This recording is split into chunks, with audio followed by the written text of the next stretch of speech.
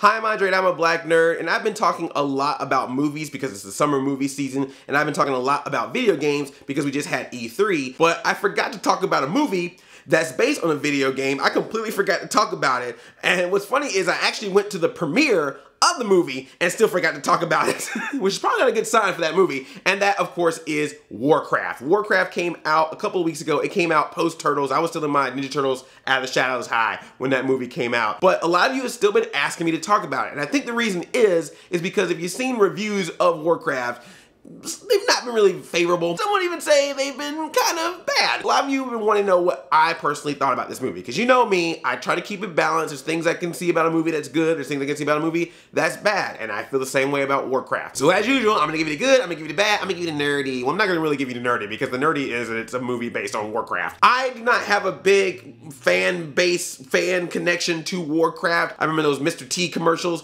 I'm Mr. T and I'm a night elf. World of Warcraft, fool. But here's the thing, I've actually asked multiple people about World of Warcraft, about being interested in it, about wanting to know more about the game so I can get involved. And I swear to you, every single person that I asked about World of Warcraft was like, don't do it, Andre. Don't you put yourself in that. It will take your life. It will suck the time out of your life. Don't do it. It's evil. Stay away. And I was like, all right, well, if everyone's telling me not to play this game, I guess I won't play it. It was a really weird sales pitch. I felt like, uh, what's that movie, uh, Walk Hard, when Tim Meadows is like, this is marijuana. It's bad for you. Is it gonna make me feel bad? It will not make you feel bad. Don't do it. That's how I felt about World of Warcraft. I love this game, Andre. Don't play it. But that's what makes this movie very interesting because on one hand, they have to cater to the Warcraft fan base and there's a lot of story that can be pulled from from the games to make a movie. At the same time, they have to convince the people that know nothing or hardly anything about Warcraft that this is a franchise they need to care about. And that's a very hard thing to do for any movie, and this movie tries. But is it as bad as people say?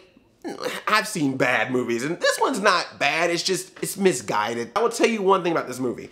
It is beautiful. It is one of the most beautiful cinematic films I have seen as of late. Like, I watched this movie in 3D, and I usually hate watching movies in 3D, but I really liked watching this one in 3D. It made me feel like I was in this world, and I really appreciated that. That was probably its highlight. And the fights in this movie are really epic, and because they have that green orc blood as opposed to regular blood, smash, bash, crash, getting stabbed, orcs smashing humans with hammers. It's amazing! I love the fights! The best stuff in this movie the orcs. Yeah, we made all those jokes about the orcs when those trailers were coming out, talking about Shrek babies and all that stuff. Not only are the orcs the best thing about the Warcraft movie, but you'll wish the movie was just about them. They've got the most interesting characters. They have the most interesting storylines. They do a really good job in showing which orc is which so you're not confused. You know what their intentions are. You know what their emotions are. The motion capture on the orcs is amazing. Great job to Toby Kebbell and everybody who did the motion capture for the orcs, the voices for the orcs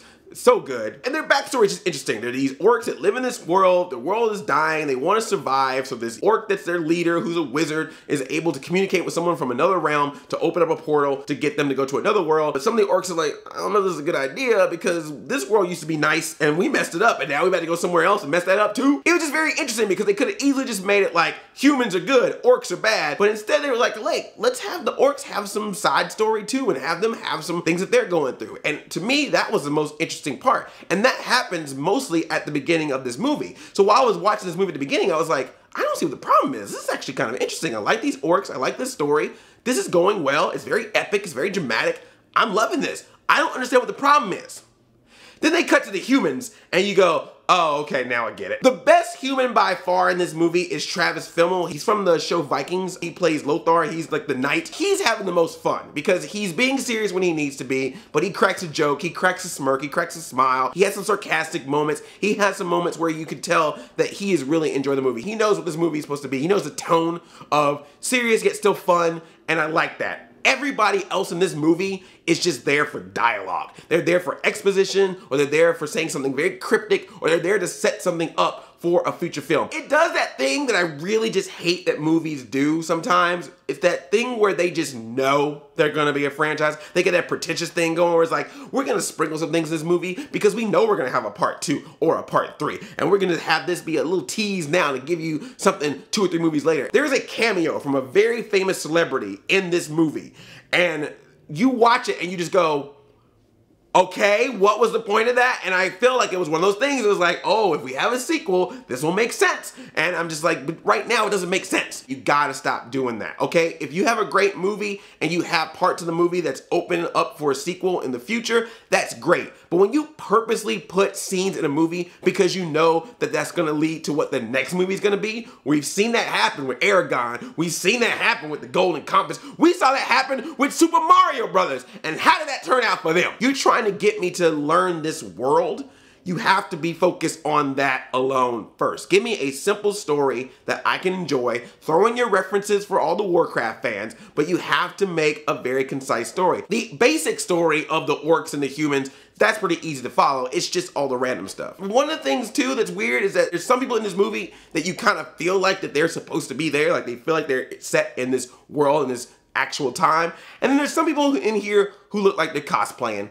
who look like they're just regular people who just put on a suit and is like, oh, I'm now in Warcraft. And it's like, nah, dude, I can just tell. Could you have people like, I am in this world and we must fight the orcs and this is really important and I am talking in the voice that will be the voice of a person that will be in this world.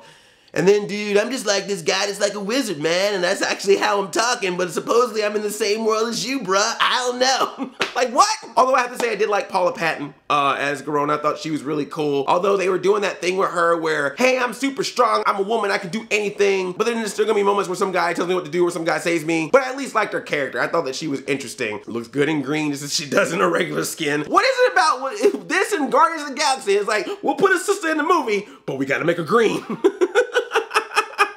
Damn, bunch of Venus de Milos running around here. Okay, movies. We have to stop with the giant beast. It happened in Batman v Superman, kind of happened in Ninja Turtles. It's happening here. There has to be some giant beast looming around that someone always has to fight. We're done, okay? Sometimes just fighting people of normal size and height is dramatic enough. Like when the orcs are have to fight each other, spoiler alert, I guess, but when some of the orcs have to fight each other, they're just regular orcs fighting each other. That was impressive. That part, I was like, oh man, this is very interesting. And like how they're gonna choose which side they're gonna be on and all this stuff. And then we cut to the Cuban fighting some rock beat. I'm just like, what is this? Why? Why is this here? I think they were really trying. That's the one thing I will give them credit for. They tried to make sure the Warcraft fans were happy. This was not a Jem and the hologram situation where they just didn't care about the fan base or the franchise. You could tell that people do have love in this, and that's why they try to put so much in this to please the fans. But I look at this movie the same way that I said this about Ninja Turtles. I said this specifically about Ninja Turtles Out of the Shadows, just to prove that I'm being fair. I said that if you were not a hardcore fan of Ninja Turtles and Krang showed up, you probably like, what the heck is this? That's how I feel about this movie. If you know all these characters, if you know all this lore, then every single thing, I guess, will make sense to you. But Anybody else, this is just a lot of things thrown in them at once when it really could have been simplified, but still true to the franchise. And I think that's ultimately what the problem with it is. But yeah, man, this is this is a movie you watch on Netflix for real. I mean, other than the fact that it looks very beautiful, if you want to see how it looks, like if you get a chance to see this in like IMAX or something or 3D, maybe that's the reason. But yeah, man, if you got like a big screen TV or a 4K TV, you'll be fine. It still will look just as beautiful at home. They tried. I mean, they really, really tried. I, I, I don't think it's the worst movie in the world. I do not think that the reviews that it's gotten are accurate. I think it's being much more harshly treated than it should be. Yeah, there's problems with this movie, but I can tell you for a fact from some of the movies that I have seen, this ain't one of the worst. I really think it would have been easier to accept the flaws if they didn't have that pretentious feeling of knowing we're gonna be a franchise, so therefore we're gonna act like that with this being an origin story type of movie, when this should have just been a good, solid Warcraft movie because there's so much of Warcraft that's out there, so much of the lore that's out there. You could have easily made a sequel to this, no matter how this movie was made, without feeling like you had to drop hints along the way to go, we gonna have a sequel, because you might not. So think about that next time. Uncharted, Assassin's Creed, whoever else is getting a video game movie, one good movie, and then if that works out, then you can talk sequels. Learn from Super Mario Brothers with Princess Daisy coming in at the end going, I got another adventure for you. You don't, Daisy, you don't, because your movie tight. Learn from Super Mario Brothers. Learn from Princess Daisy.